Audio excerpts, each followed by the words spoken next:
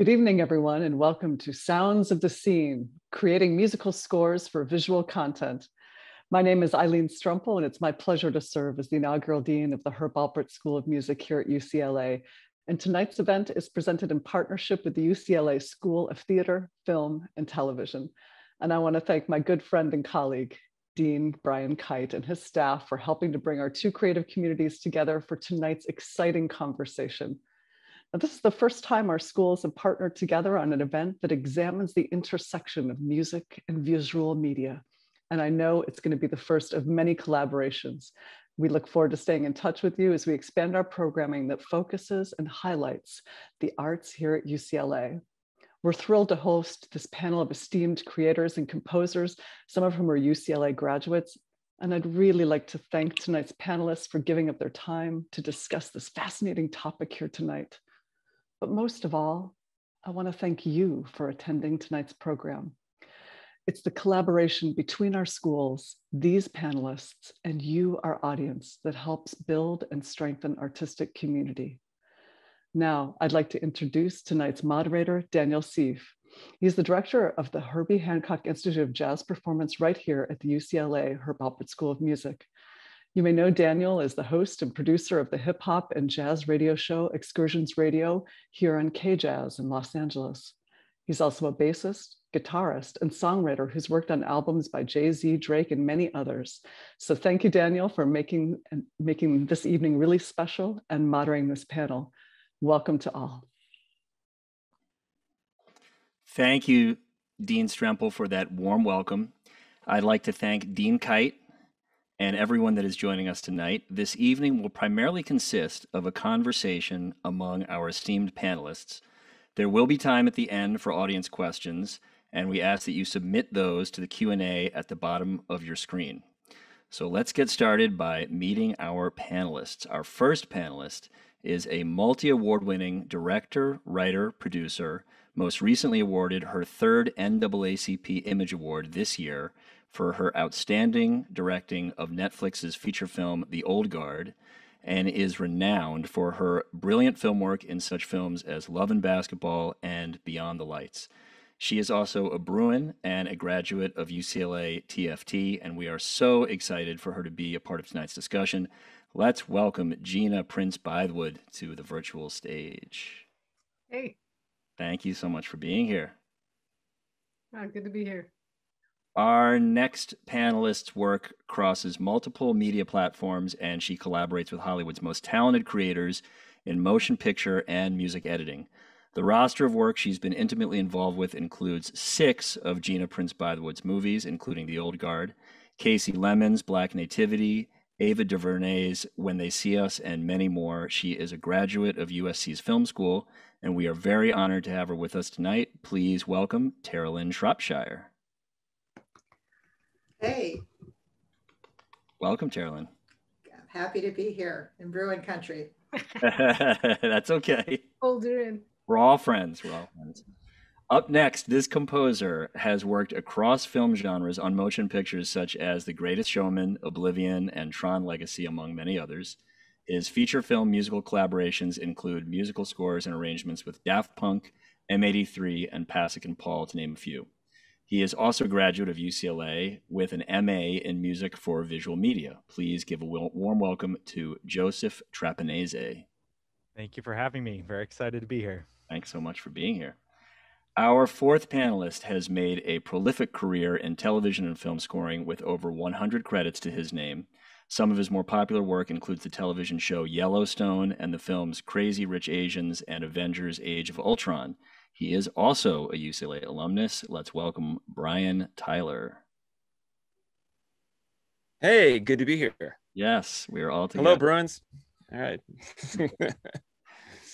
before we get started, do are you all have you all met before? Have you all? And uh, I know uh, Gina and Terilyn, you have a long working uh, history, but the rest of you are you meeting for the first time? Yeah, we are. I know Joe. Okay. Yeah, first time meeting and and I didn't realize Terry and I kind of worked together, even though we had never met. so, so you know, that's how Hollywood works. Sometimes, you know, we're all siloed in our in our studios, and you know, here we are.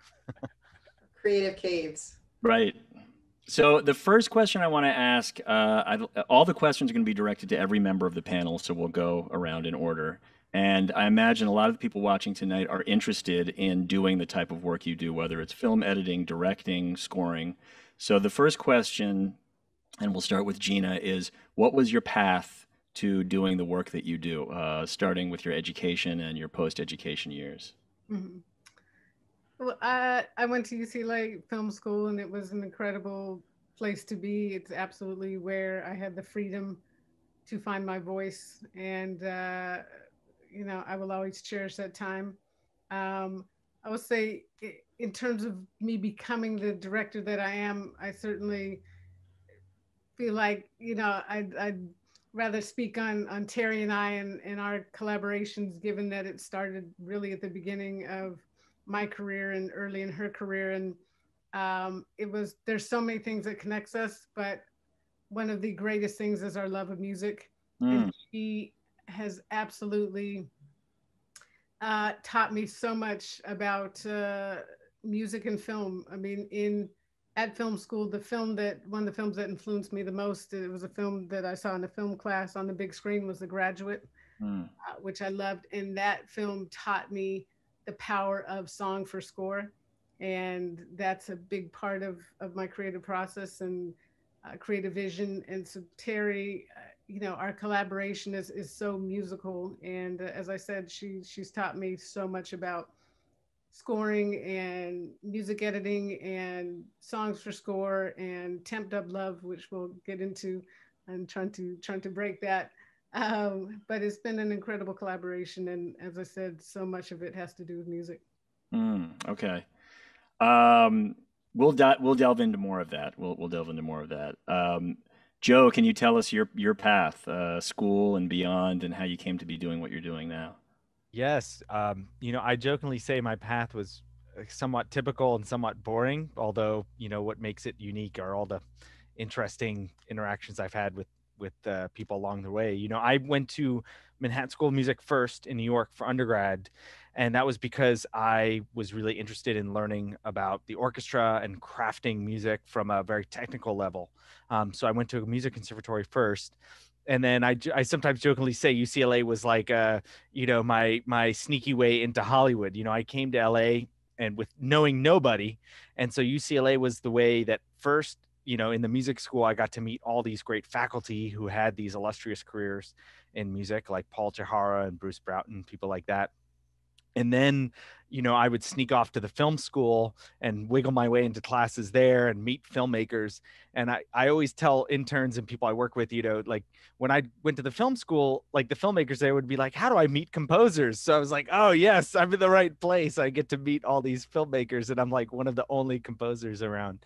Um, and it, parallel to that um, i was interning you know i would just go to studios a couple days a week with different composers and work you know get food you know get the coffees you know pick up the dry cleaning set up a pro tools session stuff like that um, but it was it was in la and in hollywood that i realized all these things would come together like that formal training at manhattan school music and I was also always the synth nerd, like mm. in the basement playing with synthesizers. And so all of a sudden in LA and at UCLA, I realized, oh, these two can actually live together, and that's what film music is. It's it's like a meeting of technology because we're all working in Avids or Pro Tools or Logic or whatever, meeting of technology and the art, which is you know orchestration and theory and harmony, that sort of thing. So I was so lucky to then be in a place like UCLA where I could go to the film school and then learn kind of the third thing of those, which is storytelling. Mm. That's the other super important aspect to what we do. So that's my background in a nutshell. Great. Terilyn, as a film editor, TV and film editor, uh, tell us your story of, of uh, how you came to be doing what you're doing. Yeah, well, you know, I came out here to go to college. I was uh, living in the Midwest. I had traveled a bit with my parents growing up.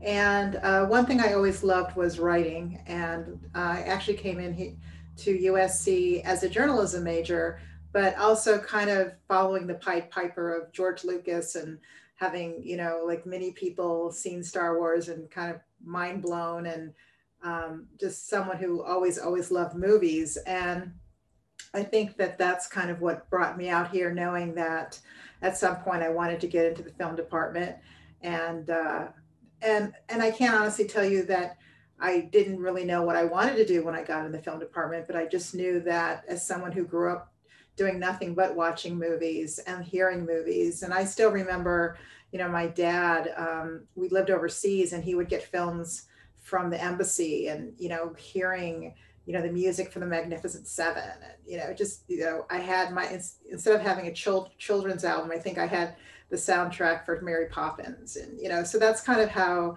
i grew up in terms of my musical sensibilities and then i found that um, as i kind of started to transition in both broadcast journalism and writing and rewriting. I found that when i started making films that editing and re-editing was something that was my wheelhouse and i loved creating um, the kind of solution based work that you have to do as an editor. You know you kind of create the problems on you know when you go out on the set and then you got to bring it back and figure it out. And that part i found really satisfying and i actually loved the ability to kind of work with sound and music and the visuals and kind of create this this compilation of um, characters and and and structure and and design in that way. And it felt organic to me and it felt instinctual. And so, um, which isn't necessarily going to mean the minute you get out of work, you know, get out of school, you're going to get a job, right? Doing that.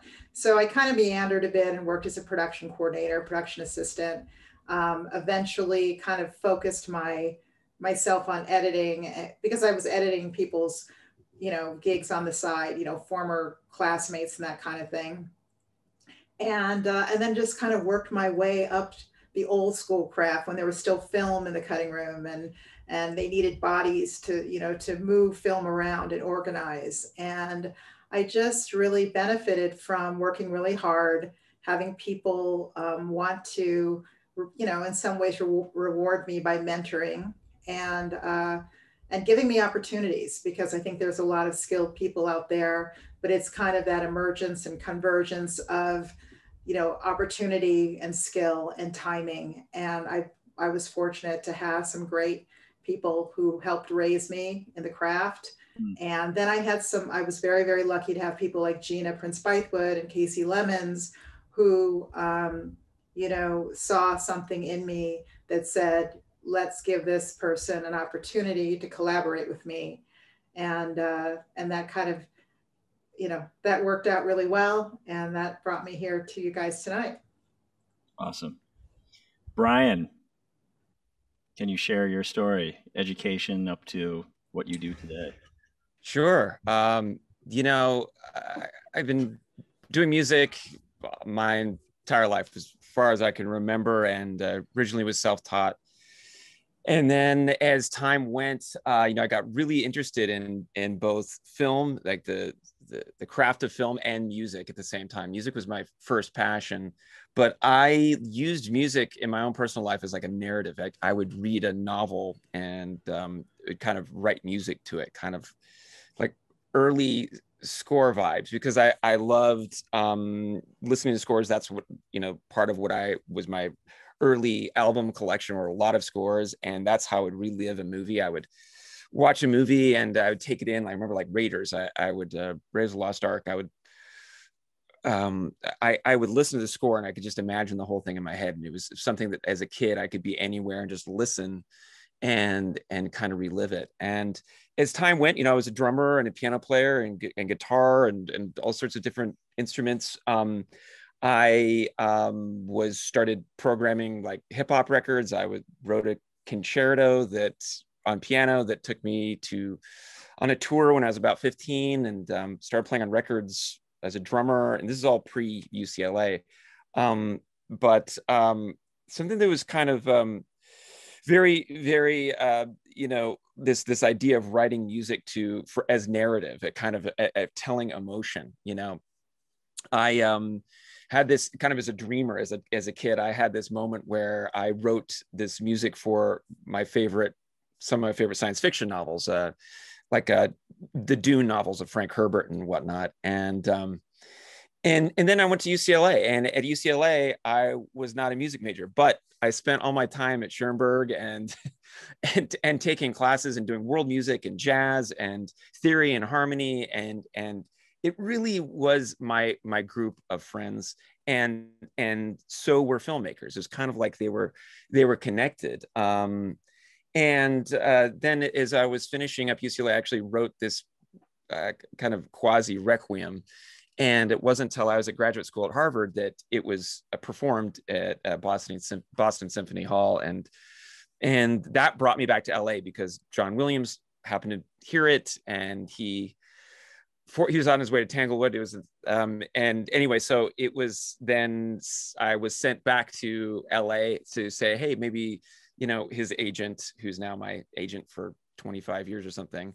Um, I got a great recommendation, and then lo and behold strange thing of all strange things, I got a call to score the movie uh, that Disney was doing, Children of Dune, which was the novel that I had written the score for, or I, was, I written music for when I was like 11 or something, or 12 years old or something like that.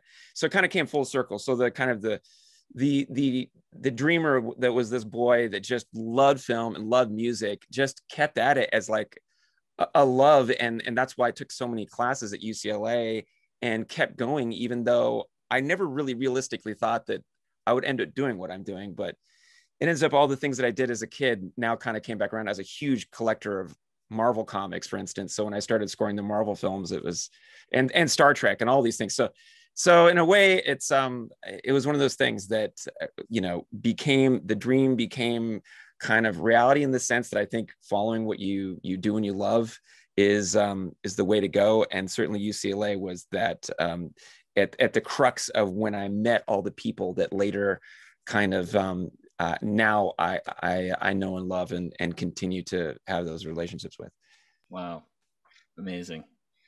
Um, I the next question is unbelievably broad. Uh, we could probably have just done the panel answering this question or talking about this, um, but uh, maybe you can you guys can provide some insight uh, even though the the time period is small to discuss.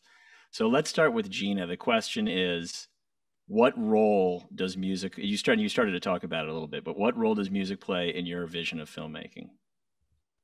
Yeah, music is absolutely everything uh, in terms of my vision. I oftentimes when I get an idea, it's coming from when I'm just listening to a song. I mean, music evokes so many beautiful things within me. And uh, so once I have an idea, I create a playlist of songs that I feel are going to open me up emotionally to what I'm going to write or may make me think about the character or a vibe of a character. And I put that playlist on repeat and I write. And, uh, or uh, if I'm stuck, then I take that playlist in my car and I drive and I listen and write in my head. So I, I, mean, it is, and I put it in earphones and it's on blast. I'm completely enveloped by music, and it's it's so much fun to do um, because I just feel, and that's for me what writing. The beauty of writing is to be able to feel and, and hopefully make an audience feel and and so then I have the playlist, and it's time to direct and I've got songs that I listen to on my way to set, and I have songs that I play on set for different scenes to evoke that same thing in my cast. And then I get to the editing room, and you know, Terry and I are, are it is all music. I mean, I drive her crazy sometimes because um, I always want to focus on on, on music. Um, but it's uh, it's every part of my process, and I, I love it so much because you two are deep collaborators, let's go to, to Terry next uh, with the same question the role of music in film from your perspective as an editor. Yeah, I mean, I find that um, in trying to build the arcs of all the characters in the film, the music is no different. And with as an editor, you have to be a bit of a gypsy and adaptable to the directors that you're working with. And um, so I try to kind of have an open communication with the directors very early on. Often when um, we just get started, or sometimes even if I'm just talking to someone, I kind of ask them, you know, what their feeling is about music and and what are they listening to? Is there a particular vibe that they're you know that they're starting to kind of even put inside you know put put in their head um, i find too that for me um, very early on when i start cutting often i'll just have something atmospheric in the background as i'm working. I'm not necessarily looking for a rhythm but i'm sometimes it's just putting me in the mood for the type of scene i'm about to cut. You know sometimes it's just a tonal thing. Um, I, I'm embarrassed to say, well, not embarrassed in a bad way, but I am a, uh, back in the day when you could actually go, I, am aging myself, Tower Records or Amoeba, or and actually buy scores and, and get scores. Um, I I collected them all the time and and and literally kind of have have you know boxes of DVDs of scores because there is just something in that musical language that I, I love, and it does kind of help um, inform sometimes your journey. I mean, it can be tricky. And like I said, with certain directors, you often, I often ask them, do you want to hear music? Um, some, some, you know, some directors don't when they first start to kind of build the cut. But, you know, that first, when you say you only have one chance to make a first impression, the first cut that I show them can be very informative and I find myself being very careful as to the things that I choose and and kind of the moods that I'm creating, um, and also whether or not they're going to be receptive to that. But it really does help me too um, as I'm building to try to kind of get a sense of the language of the film and how are we going to reflect that in the character of the of the, of the um, you know, uh, of the movie that I'm working on. And then, of course, I have to say the thing that I miss most is, and we've all done it, as we're sitting in a theater waiting for the movie to start back in the day, and the you know scores playing through the the movie theater, and it was always fun to me to kind of sit there and and you know guess which movie or know which movie that was from, and the fact that that we can tie so much. Um, you know, particular composers and scores to particular films tells you a lot about how our brain processes and remembers, um, you know, emotions and and moments within a film. Wow. Yeah, the, the old days of going to films. Hopefully, we'll we'll be back to those old days soon. Um, now, Brian and Joseph, you're coming from the, the the other end of things. So, Joe, talk about your uh, your vision of the role that music plays in film. I like to say that you know, music the magical thing about music, right, is it's that it's this universal language. So no matter what language the film is actually in, whatever the actors are speaking, you know, there is this other language happening that speaks to everyone. And uh, some of the best films out there, you can mute the dialogue and you know exactly what's happening, or you watch it in a foreign language and you still know exactly what's happening on screen. Um, the other thing I like to talk about is how if the actors are doing their job right, if the filmmaker has done their job right, the best thing I think music can do for a film is add like that 3D quality to to to an experience. Meaning, you know, it might be a love scene that's happening and it's beautifully shot and the actors are in love, but you know, the score knows or the audience might know one of the actors is secretly having an affair. So, you know, the music can give you this 3D element where I don't have to worry. Again, sometimes, you know, you do have to worry, oh, I need to make this tension or exciting or I need to add, you know, help help that because that just isn't quite what's happening on on screen. But some of my favorite musical experiences when experiences is when I get to comment on the film when something is either behind or ahead of what's happening on screen. So um, what I'm eager to know, and maybe Brian could talk about this. I mean, you know, something I love to do is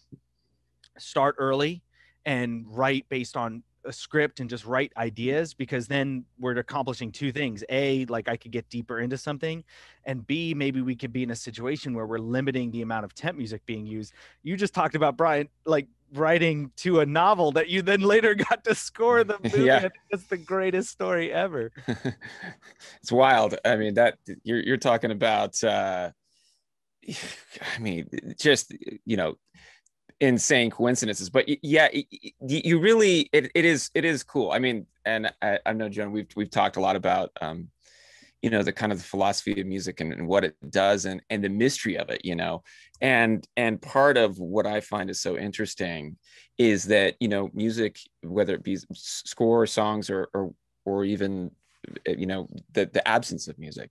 It, it has the um, ability to do i think kind of two major things. One being narrative. It can it can clarify um, story points by thematically um, placing in different in, in modes which also kind of can include a built-in nostalgia you know where you you go to a movie theater and this may be a new character that you've never seen but the filmmakers need you to believe you've known this character for 20 years. So you feel the, you feel something for the character only 10 minutes in and so you the, the, the way you craft music and thematics is the way you can build in almost like a um, an emotional connection. The emotion of music is fascinating, and I've never it's, um, the psychoacoustics of music and why um, from in in any in any culture at, at any age the same kind of intervals between notes and frequencies create the same kind of um, uh, the same kind of emotion. It elicits the same kind of emotion. The basics being minor and major. A child understands this as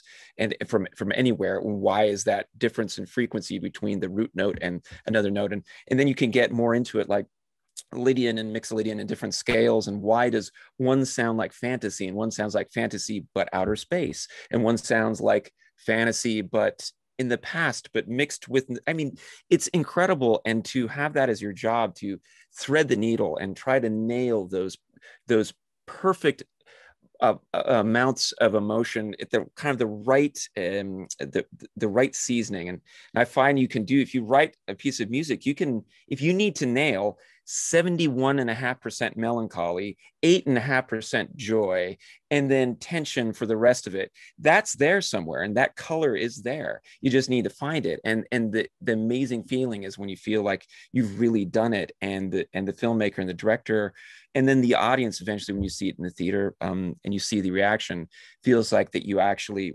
brought the emotion to the scene that um, that it needed. I like that. I like those percentages. Very specific. Yeah.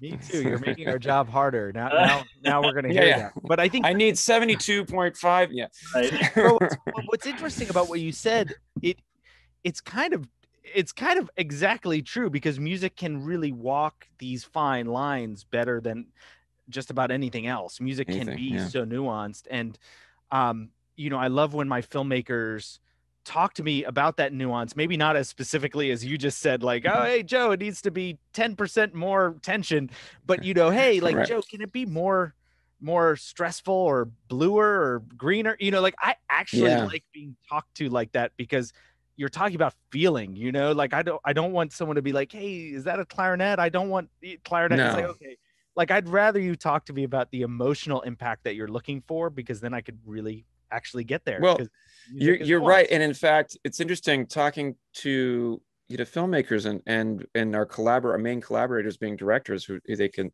you know it's um it's interesting because even musicians when they they talk amongst themselves in our secret meetings when with music now whenever musicians talk about music we talk about we don't really talk about wow that's a a minor nine with a, a clarinet on this and a flute. I mean really we talk about we speak emotion. And so the movies really the rosetta stone between a director a filmmaker and and a composer is really the emotion and what needs to be clarified or uh, elicited from a scene as opposed to trying to um, tease out what what is our instrument here and what is what is their chord it, it, that that kind of it comes later. I, the important part of the communication is what do you want from this scene?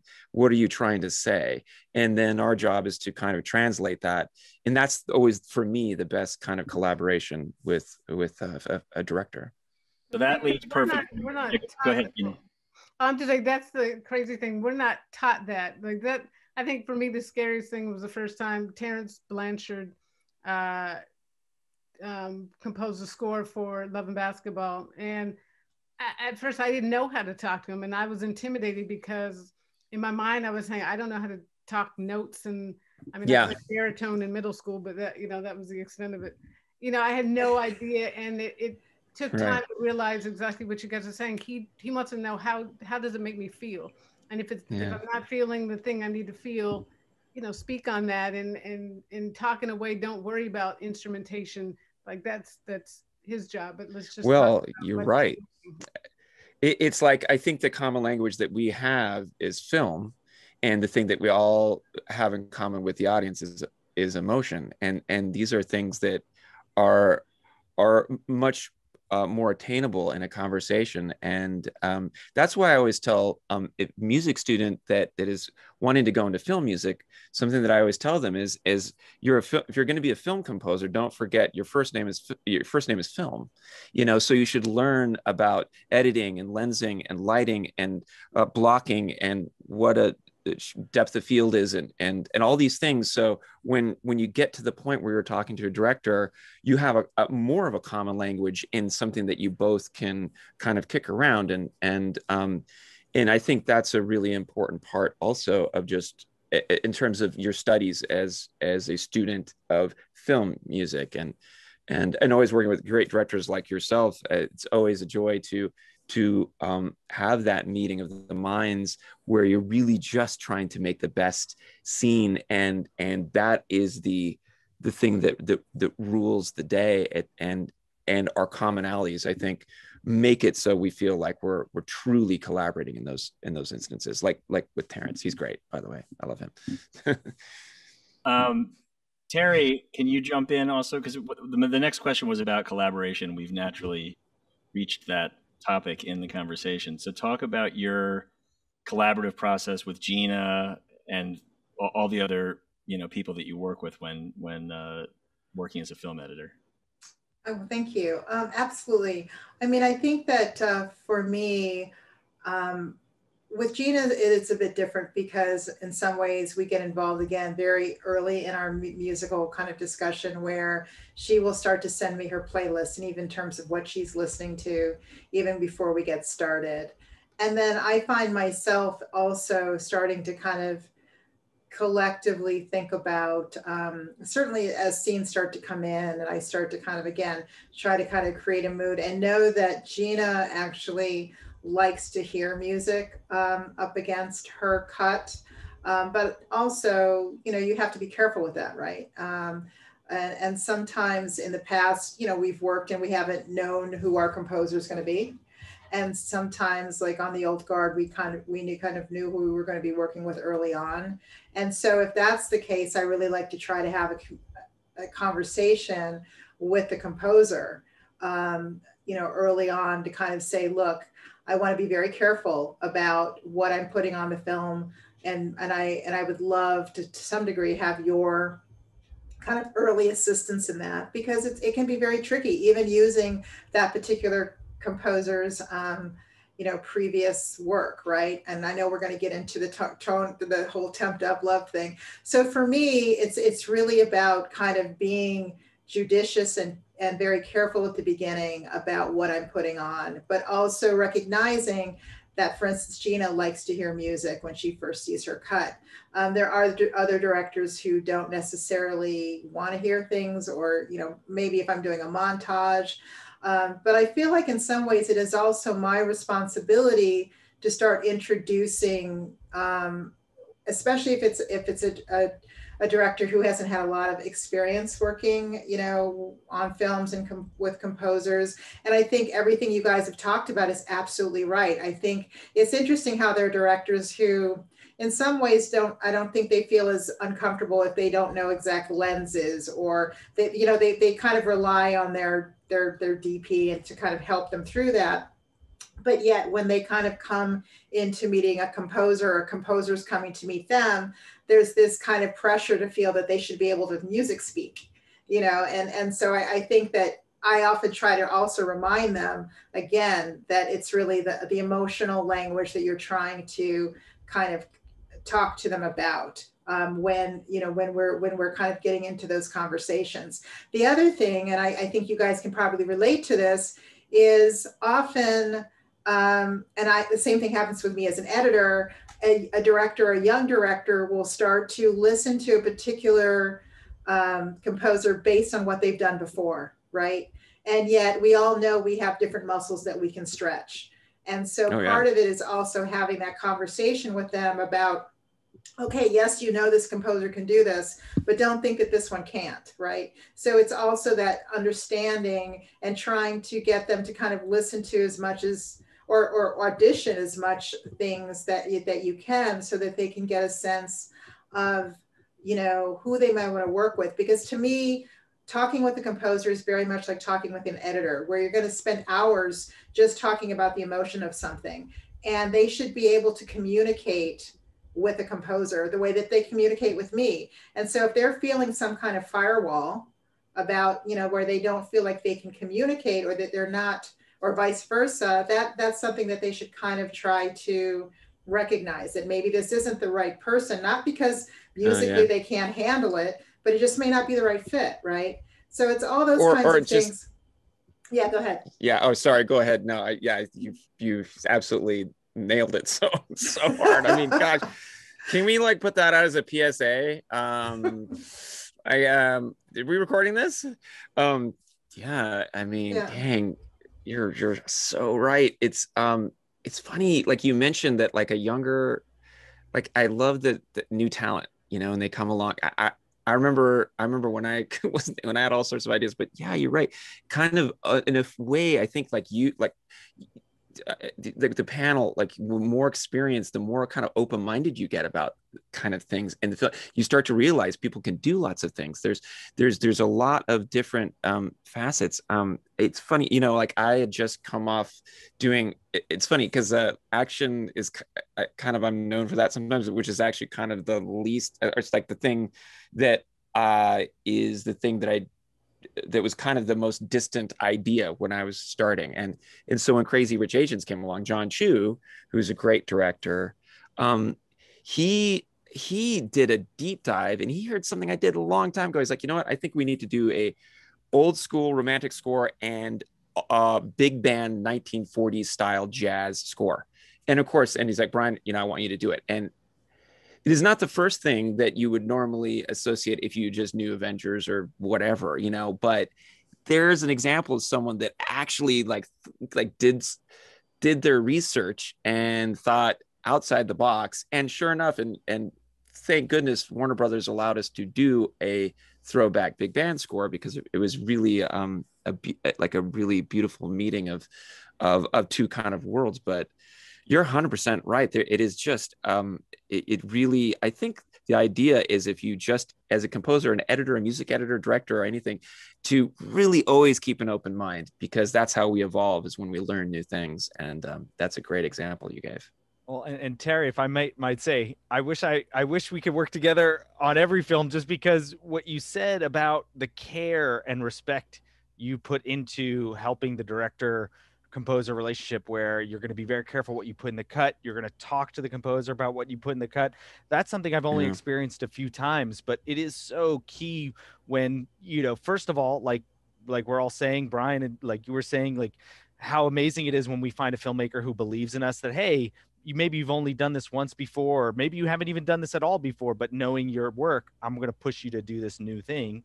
That's one thing. But B, you know, all I'm sure we've all been in a situation where something's gone into the cut that's out of our control. And now all of a sudden we're trapped into mimicking something that we're like, wait, my art, I don't really want to go there with my art, or that wasn't my yeah. idea for this. I had this other really interesting idea, but I can't even show that to the director now because I have to do what's in the film, what's in the temp. So the temp, yeah. Yeah, it's yeah. really, it's really interesting to hear you talk like that. I that's that's wonderful it's even it's even uh the, the temp thing is so interesting and ever and directors and editors can speak on this more than than than any anybody. The thing that i find really fascinating about that is okay i'll give you this one example. I did a film with william friedkin directed in 2000 three or four at The Hunted. And there's a scene where a helicopter is going over the port and it's going from the water onto the land. You know the, those those shots. It's kind of like they're drone shots now, but helicopter, FBI kind of thing. And I did this piece of music.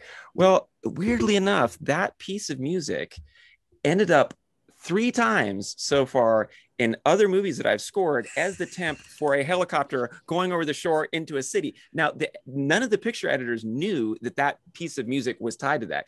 This just is how that cue sounds. It's for some reason that music sounds I'm going to fly into uh, over a waterport into a, city. and the crazy thing is I saw the way that my my piece of music was each picture editor ended up kind of falling into a servicing the temp also because all the cuts if you line up all four movies and you watch the cuts they all land exactly the same so it was a weird kind of thing that ended up happening I kept and I don't know why I did that exercise, but I wanted to see that it actually was informing where the downbeats were in the music and the temp. I ended it, all those those four films have the exact same um, rhythm of the picture edit too, and then I needed to kind of follow that. So it was this bizarre kind of like uh, fourth generation of what a temp, the power of a temp, and the fact is, it worked. I, you know, so so great. You know it's not even a it's not a knock on it. It was just a, it's just fascinating that a human brain can can go there even different people with the same kind of vibe and rhythm to their to their artistic uh you know venture in this case being editing yeah the temp score is a is a fascinating exercise i have to say i mean as a director there is like you need a temp score you need it um, certainly for screenings that you're going to do. And if you don't have your composer yet, or um, really that's that's really the reason that you put together this this temp score. You need it for your previews and for the studio. And but there is a danger because that is all you're listening to over and over and over. And and you're picking with the temp score, you're picking the best kind of stuff that that you hear out there. And uh, you know, on Love and Basketball. Uh, I I am embarrassed, and thank God I got to work with Terence again to really atone for my sins because I was so in love with the temp score that Terry constructed that twice I was asking Terence to mimic. and as I he gave me a copy of my score and I listened to it like a year later. I was like, oh my God, like this is a really good score. And I did not recognize that at the time. Um, so I don't know how to kind of say not to fall into that, but as you know, I, I Terry, I hope doesn't disagree. I feel like I don't do that anymore. Um, having having learned that lesson and understanding that the temp score is literally just to evoke the emotion that you're going for, and then you you hire a composer that's going to bring something even greater to it and something more specific to your your film and, and create its its own sound. And that's exciting and, and not something that you be you should be afraid of but something you should look forward to. Yeah, yeah. i mean there's a, there's honestly a world where i would love and i haven't done it yet but i may um, where it's like you kind of have the temp score to a certain point and then you go okay that's it. And then you like take it all out. You just kind of strip it down and you kind of watch the film again because i think that it, it is it's definitely um, you know it, it, well, it, can be a problem. Double-edged sword. Yeah, it's a yeah. war- it's a warm pair of slippers, and you get into the other pair of slippers, and they're cold, and you're like, ah, yeah. like, I don't want to be. I want to go back to the warm slippers. You know. Yeah, yeah. It's interesting. It, I've I've been. It's funny you say that. There's been a few times where there was the freedom um, that that was was given. Uh, different situations where the there was no temp. I probably done maybe six or seven movies, maybe eight, I don't know, where that was the case. And that is really interesting because that is a meeting, especially the the kind of the the the trinity of uh, director, composer, editor kind of getting in there and um, just spotting the film at, at, from scratch and say, well, there's music and it probably be there. Let's see how it evolves naturally. And it's it is really an interesting process. And some of my favorite scores have been done that way. Um, I don't know if it's a psychological thing, and but but it could be. And more and more, Joe, I'm sure you could speak to this. When you now are brought on a movie, um, if, you, if you have a career, they tend to temp it. And I, I, Terry, I, you can speak to this. If they they tend to temp it with the music from that composer's other films. It's it's I I find at least on mine most the movies I do I'd say ninety percent of it is temped with other things I've done. The the which is good and kind of tricky because, of course, I know exactly precise. I, I don't have to think about it. I know exactly how that was written, and I'm like, oh, looks like uh, you know G minor seven is like a good uh, stop. No, no, no, no. So I try to I basically watch it the once for spotting, and then I like I mute it and then it's more I see the waveform, so I know where it is, and you can kind of see where it gets big, and in Pro Tools, and you see how the editor had placed it in there, but I I have it muted, so it's more of like a a matter of dynamics, and then you remember what the director and uh, said about what I'd like for the scene. You try to let that override any kind of familiarity you have with the, the temp score. Before we continue the conversation, I, I, I hate to break this up because we're getting into cool stuff. But we're running out of time, and I do want to get to the clips. Sorry. Um, I asked every no, no, no. Please, please don't apologize. I wish I'm now realizing that this conver- this should have been a ten part series. Um, I asked everybody to provide uh, a, a clip of a film that was an inspirational moment for them, where the marriage of the music and the and the visual came together by someone else, and then to provide a clip of their own work where they felt like it really worked together. So we're going to start with, uh, and then I'd like to get your thoughts on on uh, each of the clips that you selected. So, um, Gina's selection of a of a film by someone else is a scene from Braveheart. So, if we can, we're going to watch a, a, a, couple minutes of this scene from Braveheart with the uh, with the score.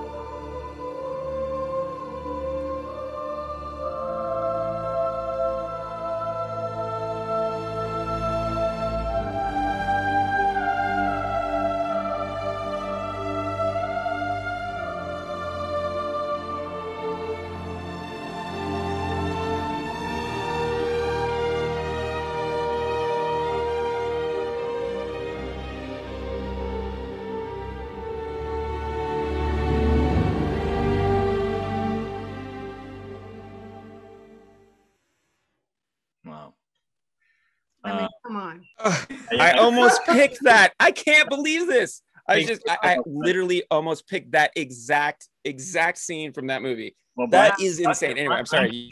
Go ahead. Yeah, it, it speaks for itself, but still, Gina, speak on it anyway.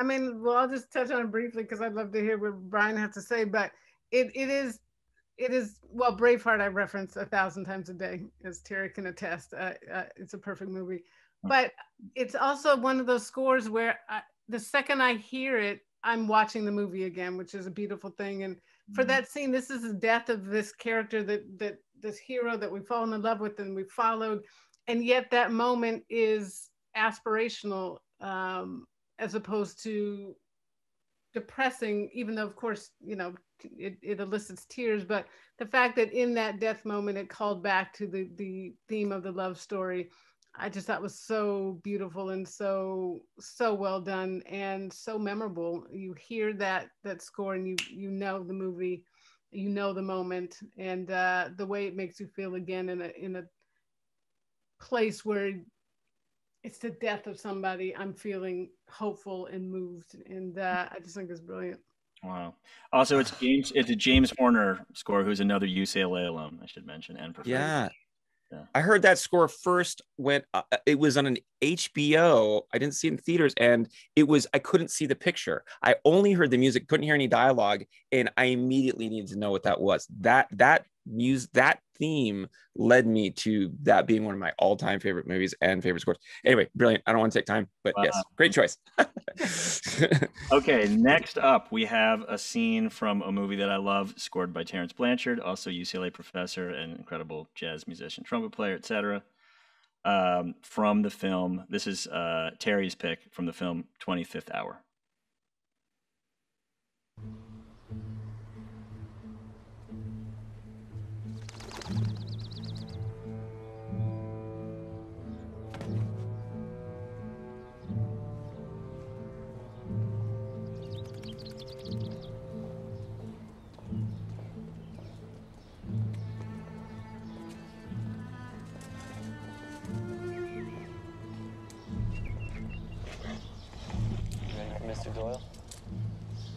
Yeah.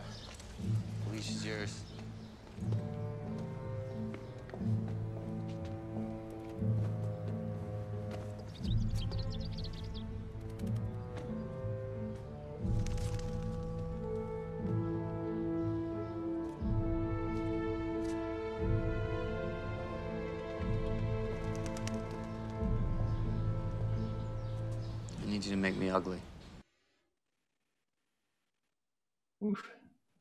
Tense moments.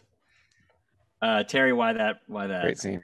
Well, you know, I I I love this film um, and what Terence uh, did to, uh, to create this score.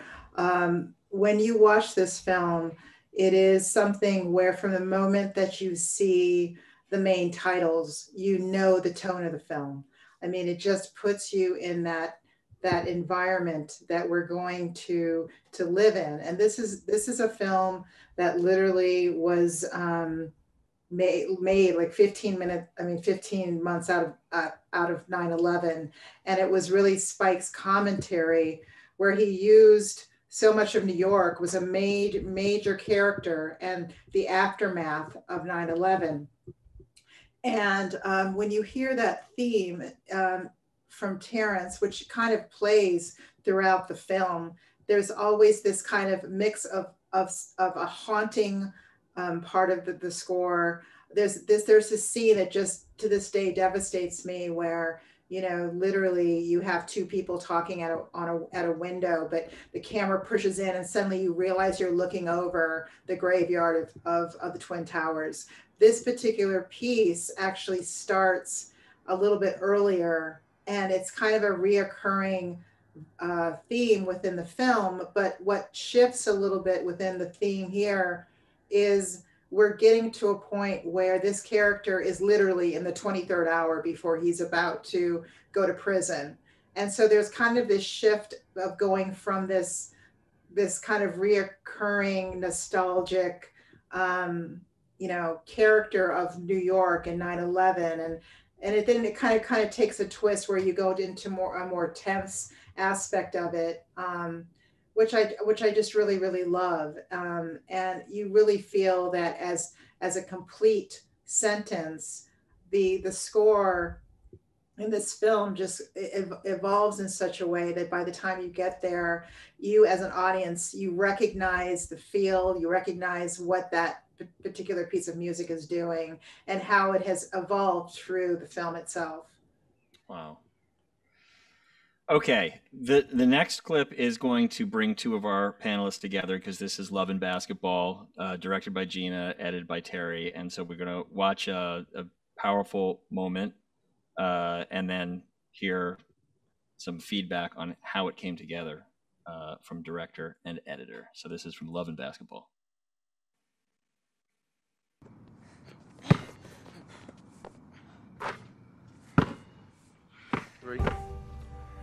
Up.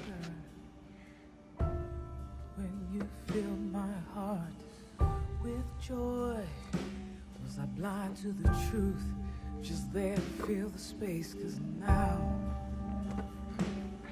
you have no interest in anything that I have to say. talking. Okay. I don't make me feel so dumb. What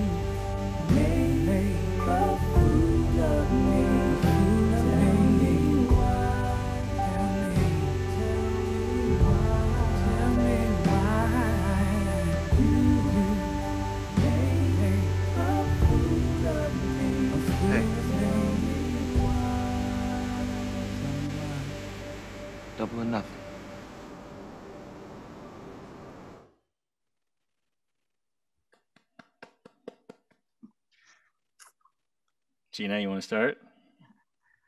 So, you know, I guess a little bit of context is that the, you know, these are two people who have grown up next door. They met when they were kids, shared a love in basketball that, that blossomed into um, a great love between them, but life uh, got in the way and um, caused a split. And this is uh, at, at the end when he's about to get married to someone else. And instead of breaking up his wedding and running to the chapel, she challenges him to a game of one-on-one uh, for his heart. And um, you know, it was we need we needed a couple things for this. You know, when when you hear that, you can think, oh my God, that that could be really corny. And so we wanted to make sure that we stayed grounded and real and and um, just played the truth of of that. And um, but you know, we really wanted to evoke the emotions of these two who have been through so much together and and this is the last chance for for this couple and there's been so much hurt between the two of them and we had tried score we had tried so many things and we were really coming down to the wire uh, i think we had a week before our, our preview and couldn't find anything and uh, that just felt right um, and then Terry uh, brought into the cutting room um, Meshell's album Bitter, which had just come out. And if you haven't listened to that album, it is a brilliant album. And um, she put Fool of Me up against it. And it rarely ever happens, but literally, we did not make a cut in that song. It just felt like it was written for it. And it was such an incredible moment uh, for the two of us because we felt like we found the, the perfect score for this scene and for this couple and um, made us feel the way that I'd hoped uh, the scene would uh, and make it feel real and, and powerful and not corny. Wow. Terry?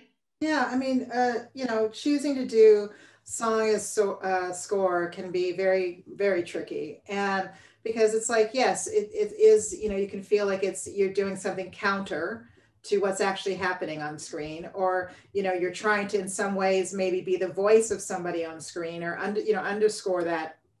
And i think that you know with this particular moment um, there is a world in which um, there's something about to me about meshell's voice.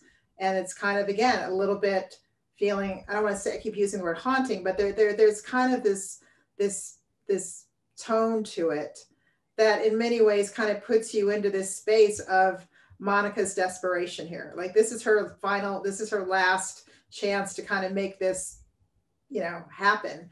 And um, and it just at the, you know, it just felt like in some ways it was a way to kind of take us through understanding that this was not about the game, right?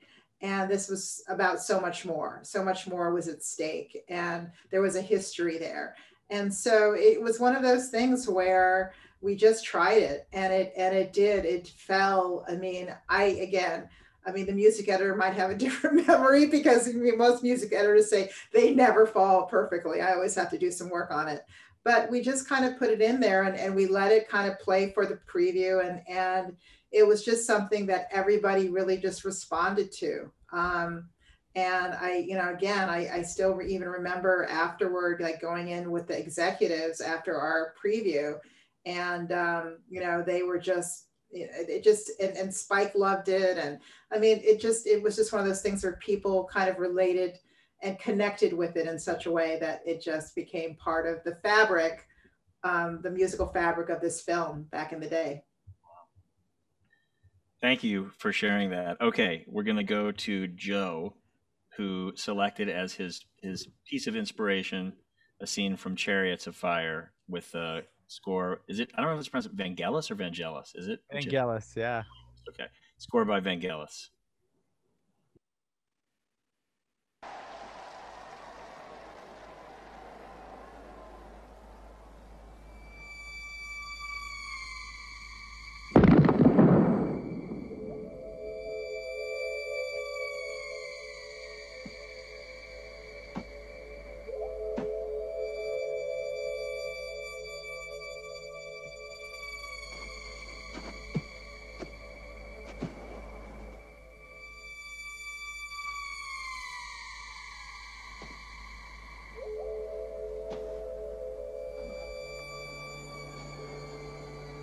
Premier.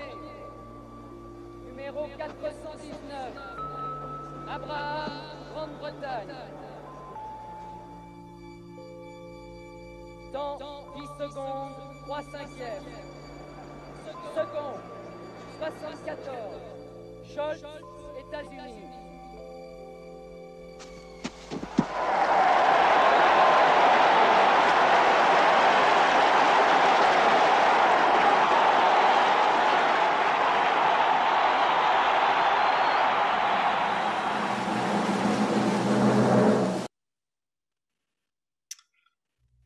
I love about that, kind of similar to all the clips we've shown, you know, we're the music is talking to something other than what's happening on screen. You know, some people might approach a scene like that.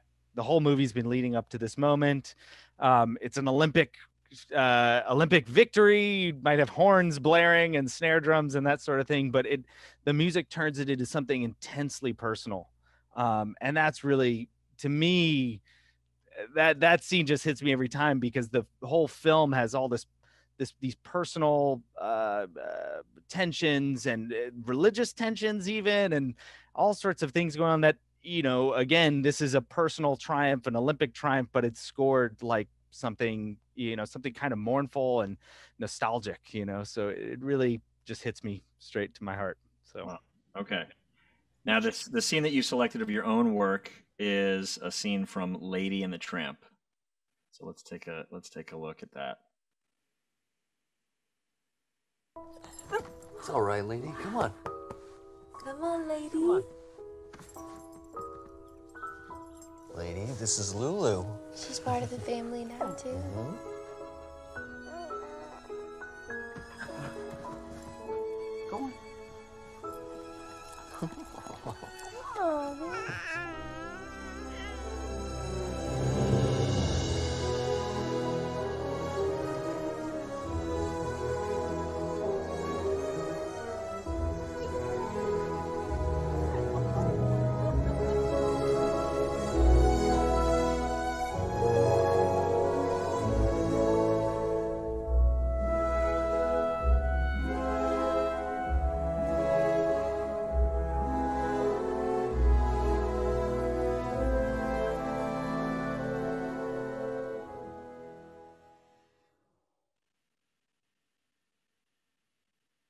Nice.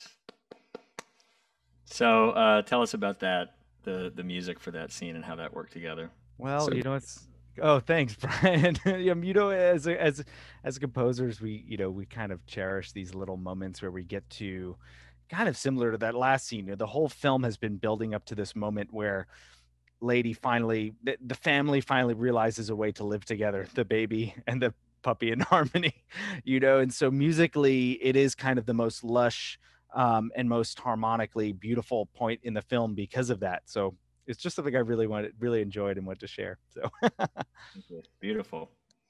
Okay, Brian, you selected a scene from the talented Mr. Ripley as your uh, Yeah. scene that inspired you. So let's let's take a look at that. Who's the composer? Great. by the way? Gabriel Yared. Yeah. So let's take let's take a look at the scene from the talented Mr. Ripley.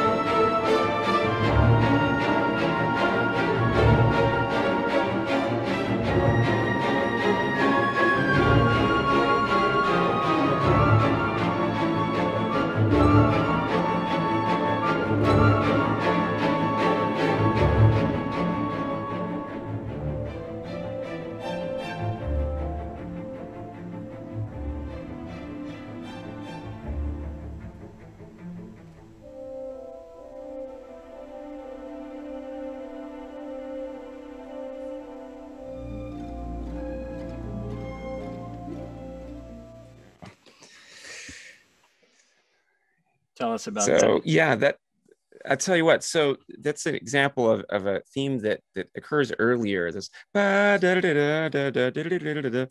is is very um, kind of a positive and happy-go-lucky, and he's on the move, and he's going to Italy, and everything's going great. Now, at the point at which he murders his friend and takes over his identity, this melody continues, but and the, the woodwinds are very beautiful and melodic, but underneath as his rage is building and he's getting this this this split of personality. These strings start becoming more and more prominent. Dun, dun, dun, and become more and more dissonant interrupting this beautiful theme that you're now used to. It's to the point where it is dissonant and ugly by the end of it. And as his he puts the piano down and the image of him splits into two people as which does happen in the story as well. He's now become two people in the story. The music now splits into two different camps of um, intersecting dissonances and, and melodies and i just thought it was a, a brilliant way to speak to that um, duality. Wow okay great. All right and then the uh, piece that we're going to hear that you composed is from thor the dark world. So let's take a look at that. Great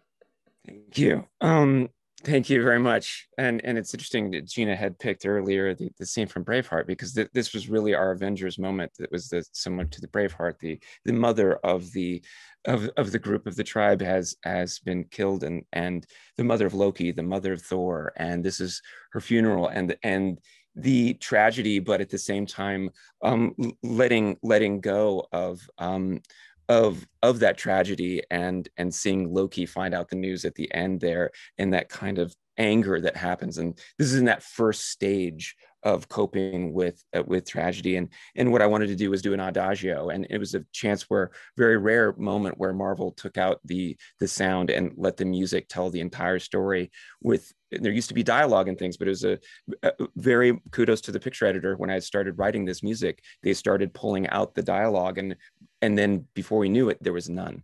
And and speaking to joe saying about the the music being the universal language i think writing an adagio straight from the heart that um, that pulls upon your own tragedies in life and, and you're thinking of and, and you need to imbue that into your art. And that's what i did with this piece. It's a very personal piece to me even though it's in this very um, you know widely seen film. It's actually um, something that that means a lot to me and and i'm i'm very proud that that that, that it was um, given the air to breathe as it as it was. Wow. Beautiful. Okay so we have a couple questions from people that are attending the event online. Um, and w- we just have a time for probably two and sorry we've run over. And i'm also sorry we don't have time to I mean, we could go on and, and delve so much deeper into all this stuff. We're just touching on the surface, but it's still been amazing to hear everybody's perspective. First question, and this is for anyone that would like to answer: Are there ever times of differing musical opinion between the composer and director, and if so, how do you deal with that? Director wins. Next question. Um, no, all, all the time, and I think you know sometimes as composers we can present ideas, but it's really up to the the composer has to be. And I'm excited to hear Gina and Terry and, and Brian obviously answer this, but uh, you know it's up to the composer to they have to listen to their filmmaker and find a way forward. You know, and that's how that's how it gets done. The director is is the dictator. I like to say. You know, it's, it's their ship. You know. I would say, you know, the it, it is absolutely a collaboration. Uh, at the end of the day, there is a vision, and um, but your hope is that um, that even if I'm not maybe hearing something specific in this one moment, it, it's still a collaboration. I, I, I talk about it, and then um, our composer comes back with with something else, and we just it's just a continuing dialogue as opposed to I, at least it's never happened with me. I hate this whole thing. Go start over. That just feels really frightening to me um, I just I love the collaboration and, and seeing it build and I may have an idea and they may have an idea and you just feed off of each other. That's that's when it's really beautiful to to have these disparate um, talents come together to to create a score that that makes the film and the visuals that much more emotional and and uh, exciting.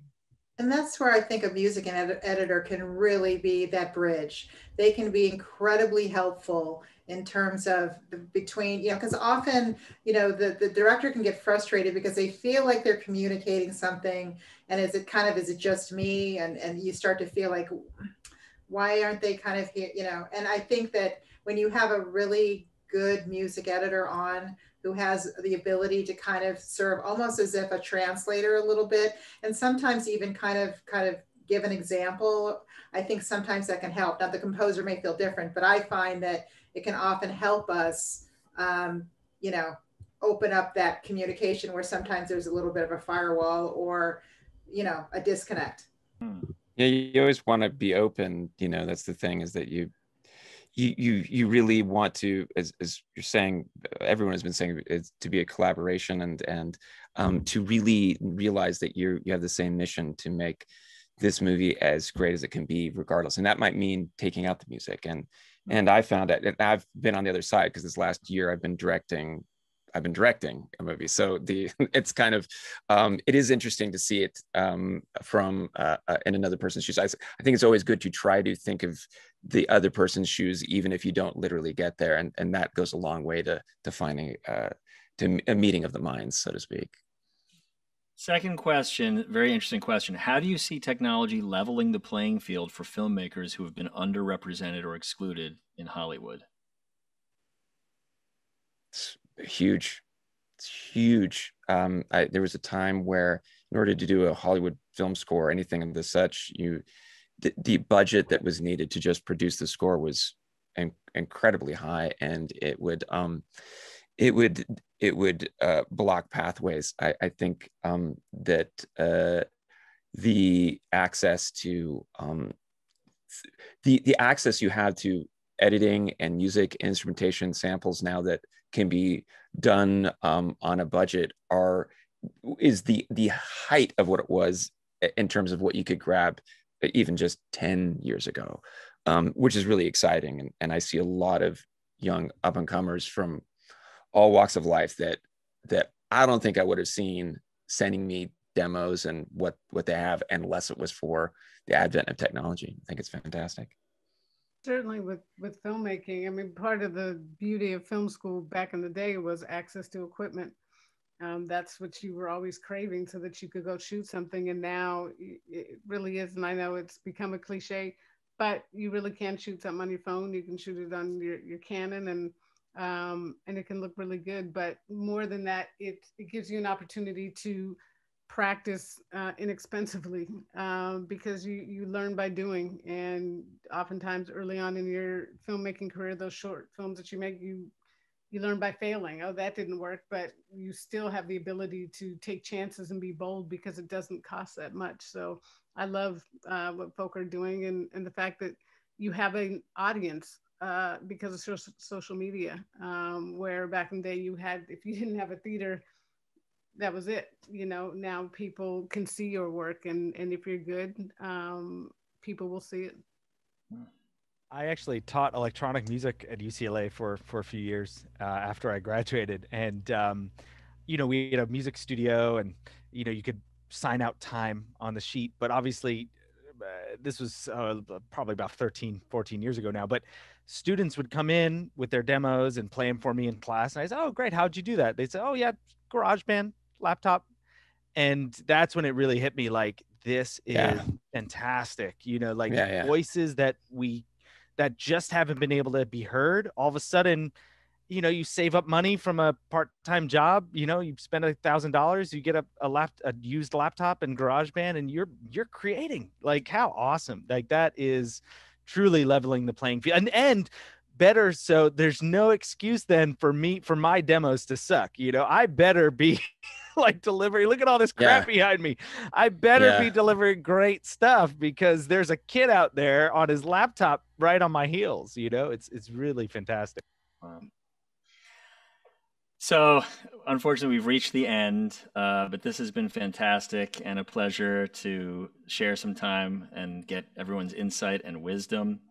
Gina Prince Bythewood, Terilyn Shropshire, Joe Trapanese, Brian Tyler, thank you so much for spending time with us.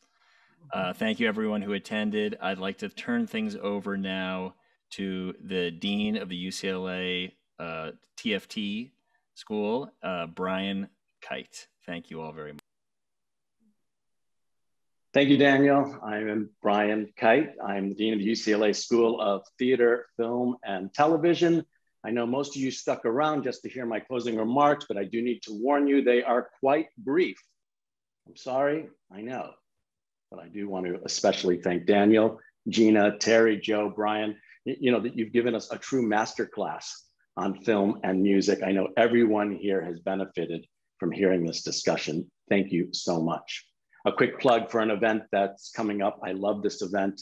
Uh, I invite all of our audience and panelists to join the School of Theater, Film, and Television for our 11th annual Sketch to Screen costume design panel. This happens the day before the Academy Awards, and the nominated costume designers will be here. We talked about music and film. Let's talk about costume design and film. Uh, if you want to find out more or join us, just do a search for UCLA Sketch to Screen for more information. Thank you to all the incredible staff who put this event together for us today. And finally, thank you, Dean Strempel, my colleague, for collaborating with us on this wonderful, wonderful panel. I look forward to our next collaboration between our two schools. I hope you all had a lovely evening. Thank you so much for joining us. Good night.